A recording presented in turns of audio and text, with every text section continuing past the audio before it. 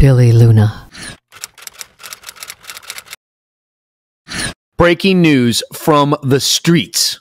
I have it on good authority that tomorrow, Skinny Joey Merlino on his podcast, The Skinny, will reveal that YouTuber is a rat. Now, I'm going to throw in the word alleged here because this information comes on good authority from the streets. I'm getting this from the streets. What's going to happen tomorrow on Joey's show is he's going to basically accuse Jeff Lohman of being a rat. And if Joey follows his typical MO, he's going to show proof because that's how Joey usually does it.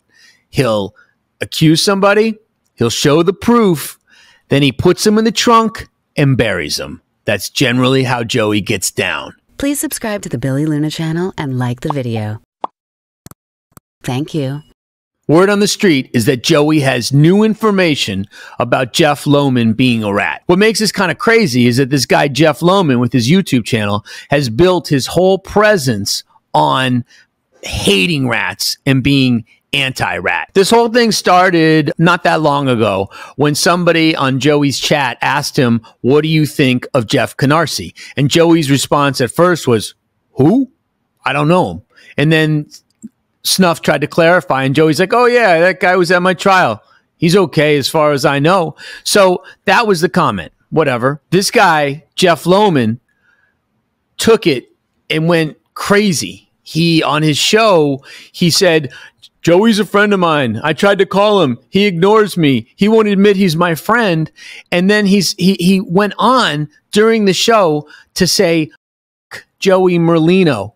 I think he said it four times. Really bizarre, bizarre stuff. So here's the thing about YouTube. YouTube has this proliferation of rats, what I call the rativerse. You know, the most popular individuals on YouTube are informants, such as Michael Franzese and Sammy the Bull Gravano. Now, we'll get way into this later, and it's very interesting to me that, you know, Michael Franzese says he's not a rat, but of course he is. And it's, and then we have, of course, the dorkiverse, what I call it, the, the mob tube dorkiverse, which is populated by these kind of like dorky guys who, you know, scrape Wikipedia. And a lot of these guys, kind of like maybe they appear to be kind of like street guys or they talk like they're street guys and they they kind of take on this persona of being like, you know, characters they saw on The Sopranos or something. And what I've noticed is that they talk really tough. And they in their chats they uh, they get they get tough with people in the chats and they, they they they they love to fight in the chats and they like come on bring it on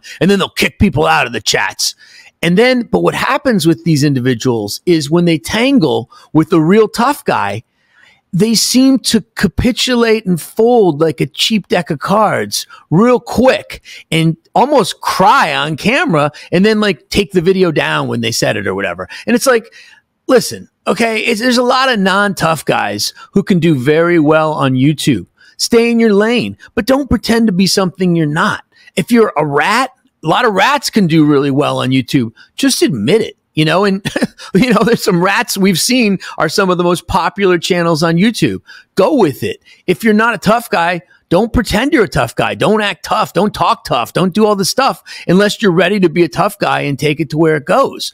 Because I just see this over and over again. Now, this guy, Jeff Lohman, he's supposedly hated rats so much, yet there's pictures of him hanging out in a pool with John Alite. Now, John Alite is a rat. He doesn't say he's not. He freely admits it. Well, just be honest. What are you? You're a rat. At least John Alite knows he's a rat. He says he's a rat. But, you know, this guy, Jeff Lohman, if what Joey is alleging is true, it's like, it's funny that he's like, you know, so anti rat. And then he's hanging out with the rat, John Alite, as you can see in these pictures. And then, you know, he, you know, if it comes full circle that he, in fact, is a rat himself, that's pretty wild. But not unlike stuff in the world that we see all the time. It's kind of like thou doth protest too much. You know, you talk too much about rats. Well, what are you hiding? Are you a rat? In psychology, there's a concept known as projection. You know what I'm going to do? I'm going to read to you right now the Psychology Today definition of what projection is. Projection is the process of displacing one's feelings onto another person. The term is most commonly used to describe defensive projection, attributing one's own unacceptable urges to another. For ex- an example, if someone continuously bullies and ridicules a peer about his insecurities, the bully might be projecting his own struggle with self esteem onto the other person. It, it's a Freudian concept from back in the day. And in this instance, if one goes on and on about one's hatred of rats, wouldn't it be interesting if we find out that that one was in fact a rat? That is classic projection. Is that what we're dealing with here? Let me know what everybody thinks about this in the comments. So on YouTube, what we have primarily is we have the Rativerse and then the MobTube Dorkiverse. You know, we got the Rativerse, and it's the usual suspects of these informants who are reliving their glory days of you know being tough guys and gangsters and kind of acting like it and talking like it. And then you got the dorkiverse, and there are a bunch of like these dorky guys who aren't gangsters, and they're just kind of scraping Wikipedia and regurgitating information that they can you know glean. Into this comes Skinny Joey Merlino. Joey is so interesting, and his story is so captivating. Just his basic story, but the fact that he is so real and just is so upfront about it is is refreshing. He has, and I mean, and he also has this bone deep hatred of rats. True bone deep hatred. Now, Joey's true about everything. Joey doesn't write his show. He doesn't script his show. He just goes out and spits it off the top of his head. That's refreshing. Who can do that? You think that's easy? That's not easy. And, you know, Snuff and Joey work well together because Joey's kind of this outrageous figure. He's got great jokes. He's wild. And Snuff is more the straight guy. And, you know, you always need a kind of straight guy to balance out a stronger personality. And that's, it's always the case in comedy and anything. You need the straight man. And Snuff is that straight man. And Snuff is a younger guy. Snuff is not from the streets. Snuff came up in the neighborhood, but, you know, Snuff also comes and he bring, he's younger and he brings a certain like kind of innocence to it. He doesn't know the story. So he's kind of like the everyman. He, the, the watcher can really identify with Snuff because Joey is imparting all of these interesting stories upon him. And so, you know, back to Joey in terms of his bone deep hatred of rats. Why? Why, why does Joey have a bone deep hatred of rats? Is it to be cool? No. Listen, rats, informants, have put Joey in a cage. And that's something like fake tough guys don't understand. They don't understand a lot of things. One thing they don't understand is being put into a cage for long periods of time. And, you know, Joey's father died in prison at the age of 73. This is, you know, in his blood. This is bone deep. This is, and there's no, there's no two ways about it. People who are in this camp and have this kind of understanding of what informants and rats, what kind of damage they can do. There's no halfway. There's no oh, always kind of a rat, this, that, the other. It's black and white. If you're a rat, put him in the trunk, bury him. End of freaking story. I mean, metaphorically speaking. I'm going to do a lot more shows about Joey. I'm fascinated by his story. You know, I've been doing a ton of Joey content and that's just going to continue and continue and continue. And I'm going to do some stuff about, you know, Joey's identified enemies too. And I, I am fascinated by that. Let me know what everybody thinks about all this in the comments. A topic that I really want to get way more into is the idea of the abuses of the system when they utilize rats, informants, to put people in prison. These guys they're dealing with are really very dangerous and evil. And the government is subsidizing these guys. Okay. Let's take, for instance, a guy that Joey talks about. And I'm going to talk way more about this. I'm going to deep dive everything we're touching on here in a later video. And I have a lot of this in kind of my previous videos. So check those out too.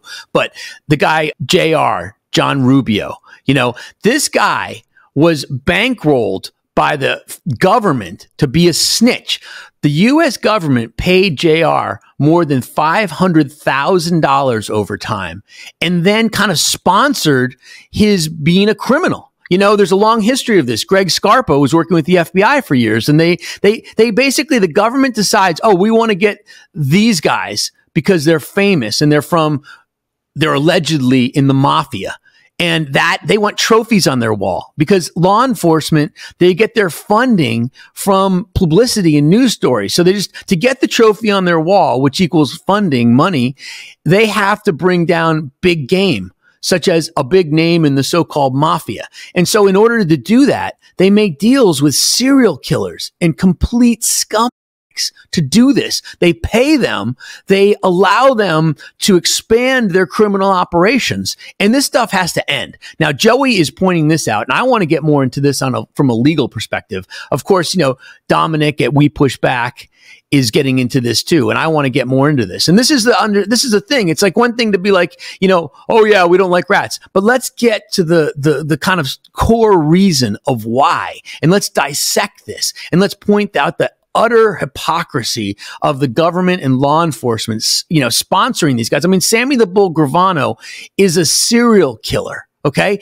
So, and, and the thing is, okay, sure, you know, you had to get, to get John Gotti and have John Gotti die in prison. Sammy the Bull Gravano, you have to make a deal with him. But what you do is you have to remember another thing too.